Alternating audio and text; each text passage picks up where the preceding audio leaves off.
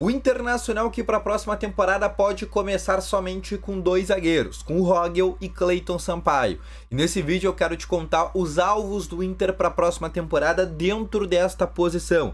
Quais jogadores o Inter procura, já procurou ou tem interesse? Então, só antes de começar esse vídeo com novas informações do Internacional, onde eu vou te contar detalhes sobre essa situação, roda a vinheta.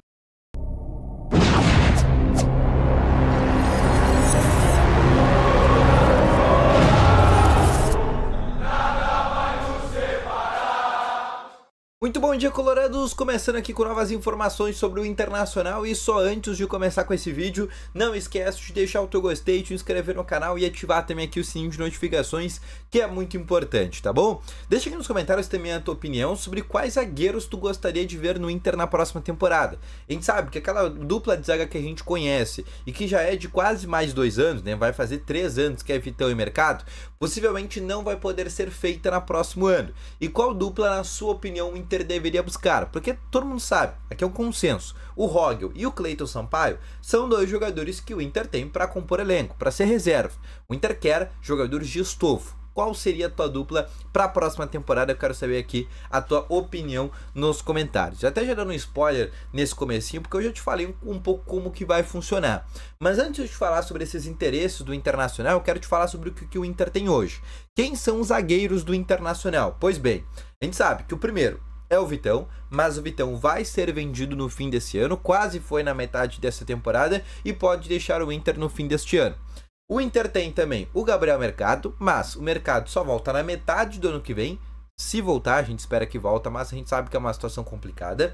O Inter tem aí o Augustin Rogel Cleiton Sampaio e o Vitor Gabriel, que é um jogador que o Inter tem que comprar nesse fim do ano junto à equipe do Sport Recife por 2 milhões de reais, mas é um jogador das categorias de base que ainda não estreou no profissional. Esse, hoje, são cinco zagueiros que o Inter tem. A gente sabe, o Fernando, que hoje é o nosso primeiro volante titular, também pode fazer a zaga mas é como um jogador ali para desfalque, né, para improvisação.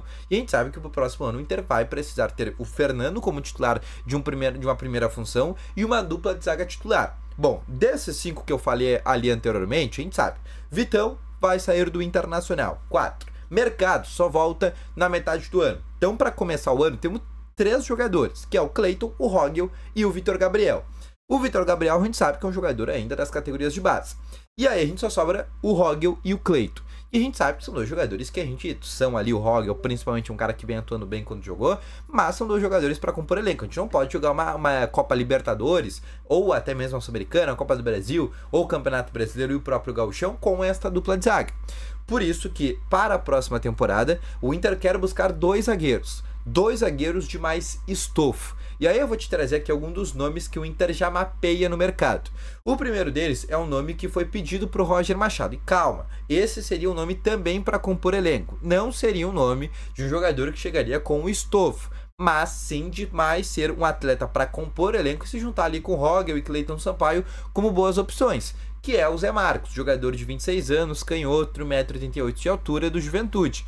Um cara que já pode assinar pré-contrato, poderia vir de graça, é o nome de confiança do Roger Machado, é um cara que no Juventude neste ano fez uma boa temporada, eliminou o Inter no Campeonato Gaúcho, inclusive fazendo gol dentro do estádio Beira-Rio. Na Copa do Brasil também eliminou o Internacional, fez uma boa campanha na Copa do Brasil, eliminando também o Fluminense, chegando ali próximo de quartas de finais é, da competição, quase chegando numa semifinal ali, se não fosse um jogo muito estranho contra o Corinthians, mas é um jogador que faz um bom ano. O próprio Juventude faz uma belíssima temporada, não em nenhum momento está brigando por zona de rebaixamento, óbvio, a meta é não ser rebaixado, mas em nenhum momento deste ano o Juventude teve muito próximo ali daquela zona. Hoje tem 35 pontos, precisa só de mais 3 vitórias em 10 rodadas para não ser rebaixado.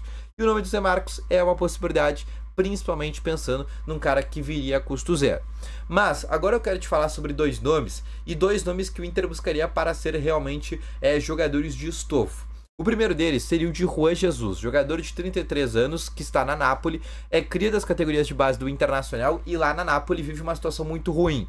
Ele teve o seu carro furtado, além disso, é, ladrões já descobriram onde está a casa dele. Ele recentemente fez um desabafo dizendo que não está seguro lá em Nápoles, que é a cidade da Itália onde ele fica é, e treina lá no Napoli, dizendo que inclusive gostaria de sair lá do futebol italiano, diz que é uma cidade muito linda, mas que não se sente mais seguro, né? Se você falou também é que a partir de agora, né, não acredita que possa ter ladrões é, perto da sua casa, enfim, ele está numa situação muito complicada lá no futebol italiano e ele gostaria de deixar o clube.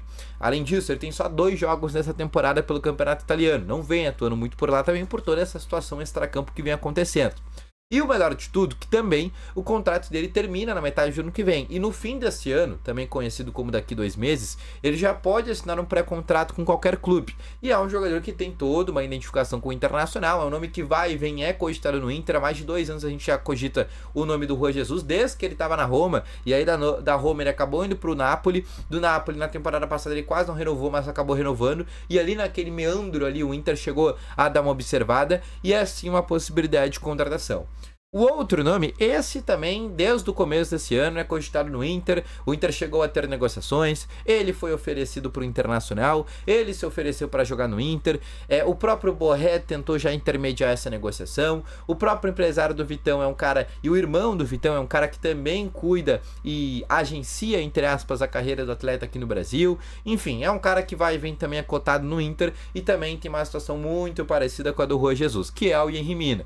O Henry Mina é um jogador que está no Cagliari da Itália. É um atleta que também daqui dois meses já pode assinar o pré-contrato e sair de maneira gratuita do Cagliari. Então a gente está falando de dois jogadores, óbvio, experientes. Ambos já têm mais de 30 anos de idade. O Juan Jesus, 33, e o Mina perto desses 33. E é um jogador com histórico de lesão, mas são dois jogadores que poderiam assinar o pré-contrato e vir de maneira gratuita ao Inter, inicialmente na metade do ano. Óbvio que o Inter não pode buscar dois zagueiros desse estofo para metade do ano, mas primeiro assinando um pré-contrato, daqui a pouco o Inter consegue chegar em um acordo com seus respectivos clubes, daqui a pouco pagar um pouquinho ali para liberar de maneira antecipada, mas enfim, também é um nome que volta e meia é cotado no Internacional.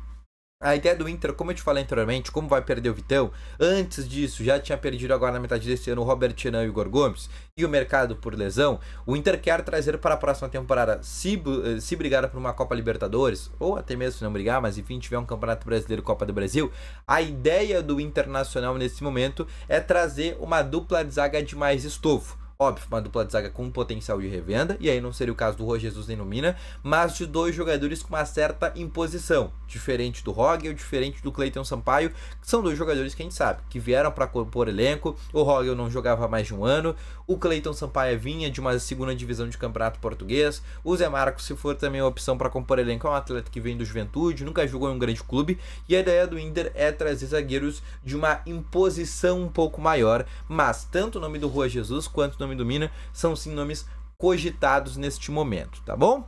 Então, esse foi o vídeo, espero que tenham gostado, deixa o teu gostei, volto logo mais, valeu, falou e foi!